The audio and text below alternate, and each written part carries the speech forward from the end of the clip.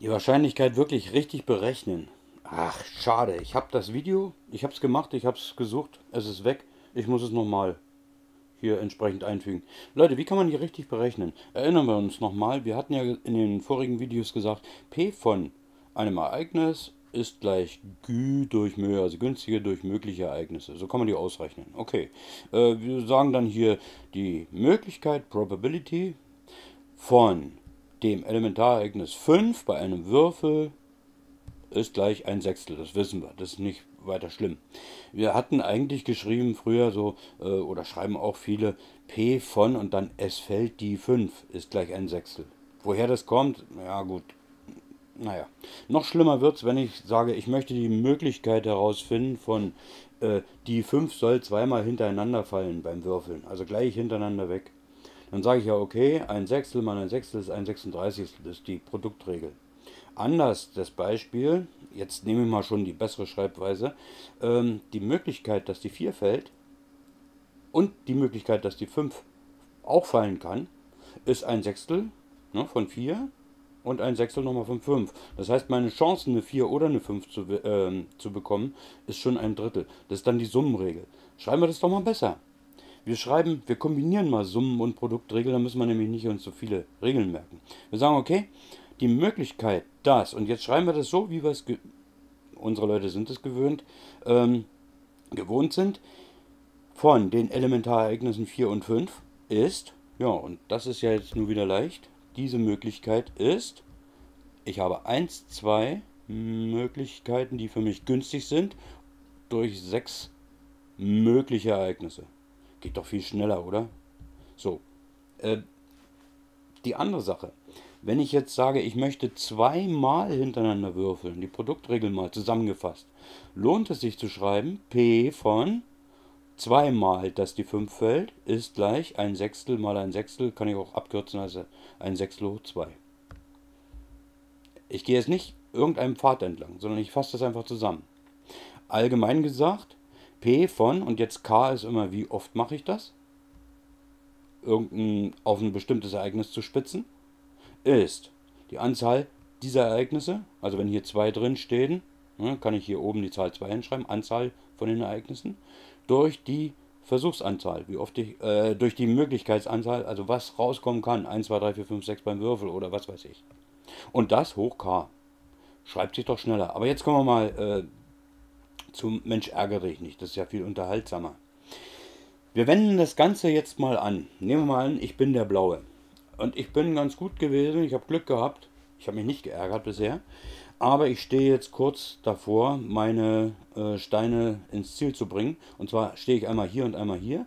Und die anderen Mitspieler, die haben irgendwo auf dem Feld andere Sachen zu tun gehabt, denn die lauern darauf und sagen, warte mal, äh, der Grüne, der Rote und der Gelbe, die möchten gerne wenigstens den schmeißen oder vielleicht auch noch den, damit sie mich wieder verdrängen. Was brauche ich jetzt, damit ich äh, so schnell wie möglich meine Steine sichere. Mir nützt eine 1, mir nützt aber auch eine 2. Also schreibe ich rein, die 1 nützt mir, immer mit Semikolon trennen, die 2 nützt mir auch. Dann hätte ich den abgearbeitet. Es nützt mir aber auch 1 oder 2 hier nicht, 3 auch nicht, aber eine 1, 2, 3, 4 und eine 5 nützt mir auch. Also das sind die Zahlen, die helfen mir. Und wenn ich sage, naja, wenn die mir helfen, dann habe ich schon die Anzahl der möglichen, äh, der günstigen Ereignisse und sage 1, 2, 3, 4 Stück. Und das durch, beim Würfel habe ich normal bloß diese blöden sechs Möglichkeiten. Und dann habe ich vier Sechstel bzw. zwei Drittel. Also meine Chancen entsprechen also ungefähr 66 Prozent. 6, also 67 Prozent. Ja, das sieht schon ganz gut aus, wenn ich so stehe. Ne? Dementsprechend äh, sollte auch immer die Spielstrategie sein, die Möglichkeit zu erhöhen, mit irgendeiner Zahl doch zu gewinnen. Jetzt nehmen wir mal an, ich habe den einen Stein gesichert und zwar den, der hier stand, den habe ich mit einer 5 dahin gekriegt. Und ich sage so, jetzt stehe ich hier und die anderen sind weiter vorgerückt und der gelbe ist leider an mir vorbeigerauscht. Okay, ganz egal. Jetzt sage ich, was nützt mir? Entweder eine 1 oder notfalls auch eine 6. dann kann ich nochmal würfeln. Ich will jetzt noch nicht den zweiten Wurf betrachten, sondern jetzt nur diesen Wurf. Welcher ist jetzt erstmal wichtig? Also sage ich wieder, ich habe 1, 2 Stück, die günstig sind für mich, im wahrsten Sinne des Wortes, von 6, die der Würfel hat. Müsste einleuchten. So rechnet man es aus. Geht eigentlich ganz schnell. So, jetzt ist aber die ganz große Frage, nehmen wir an, die haben mich alle rausgeschmissen und ich muss eine 6 würfeln. Die große Frage ist, wie oft muss ich für eine 6 würfeln? Und mein Wunsch ist wenigstens zu 90% Erfolg zu haben. Sechsmal? Denkt man immer, ne? Aber wie oft kennen wir die Situation, dass man würfelt und würfelt und würfelt und würfelt?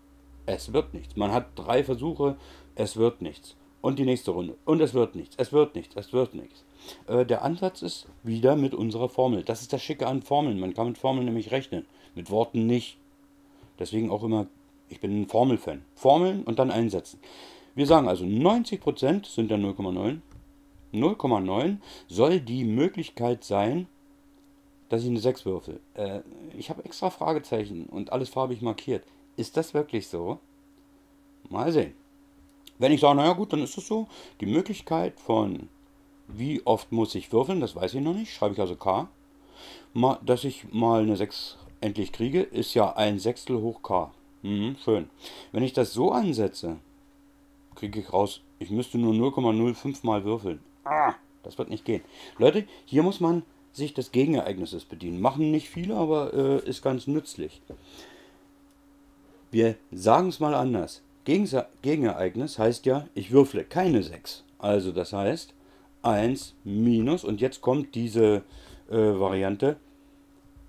Wie oft würfel ich bei einem Wurf keine 6? 5 Sechstel Mal. Und das hoch K. Schon wesentlich einfacher. Warum einfacher? Guck mal. Ich muss oft würfeln und werde dabei das Gegenereignis haben. So muss ich rangehen. Ähm, das ist jetzt für höhere Klassen, also die neunte und die zehnte und die anderen sowieso, die höheren, äh, die können das. Ähm, ich mache dann für die nochmal einen Verweis hier oder vielleicht auch zum Schluss, muss ich dann sehen. Und zwar, wie geht man damit um? Das ist ja eine Exponentialgleichung. Kein Problem, auf den Verweis gucken. Dann gibt es auch eine Faustformel zu. Ich mache es jetzt mal ganz schnell. Also, ich logarithmiere beide Seiten. Ich schreibe einfach LG hin. Dann steht hier LG 0,9 ist gleich. Äh, stopp! Punktrechnung vor Strichrechnung, Klaps rückwärts. Erst die Klammer und dann der Punkt und dann der Strich. So, also, ich sage, Moment mal, erstmal die 1 weg. Ich könnte auch alles logarithmieren, wird aber kompliziert mal. Also, minus 1, dann steht hier minus 0,1 ist gleich minus, das hier nicht vergessen, 5 Sechstel hoch k. Äh, mit Minus arbeiten. Hm, nehmen wir mal alles mal minus 1, alter Trick. Dann steht hier 0,1 ist gleich. Und jetzt habe ich überhaupt kein, ne, deswegen habe ich die Minus sind jetzt weg. Äh, habe ich das so gemacht und jetzt steht hier das und ich bin schon fast fertig. Jetzt kann ich logarithmieren. Ich schreibe einfach LG davor. LG 0,1 ist gleich LG von 5 Sechstel hoch, ach was, brauche ich nicht. Hoch K, dieses K, das wandert sowieso hier hin. So, und jetzt stelle ich bloß noch um und sage, k soll alleine stehen. Mich stört mal Logarithmus von 5,6. Also teile ich durch LG von 5,6, 5 Sechstel.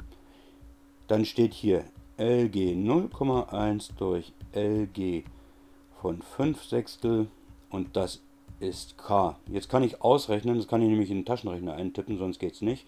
Das war schon fast die Faustformel erklärt und dann kommt raus, dass ich ungefähr 12,6 ist mir jetzt egal, ist K, also 12,6 mal würfeln muss. Das heißt in der Praxis 13 mal muss ich würfeln. Und das kommt unserer Erfahrung schon näher.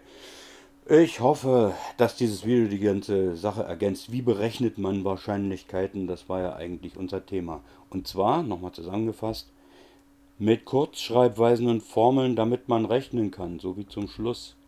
Hier, dann kann man rechnen dann geht das. Mit solchen Sachen kann man rechnen. Sieht jetzt vielleicht äh, ein bisschen krischelig aus, soll aber nicht weiter stören, soll helfen. Ich hoffe, es hilft. Ich wünsche mir irgendeinen Daumen von euch. Mal sehen. Bis denn. Tschüss.